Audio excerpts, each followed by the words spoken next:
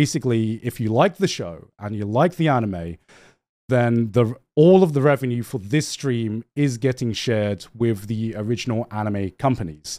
Um, and I, I, I have not seen a way for like you guys to more directly, you know, directly support what what you are watching right in front of you, what you're watching right in front of you. So, you know, it's, it's no pressure. If you just want to enjoy the show, that's fine as well. You can do that, but anything, uh, all subs, donos, bits, super chats, um, they are being directly shared with the original anime committee.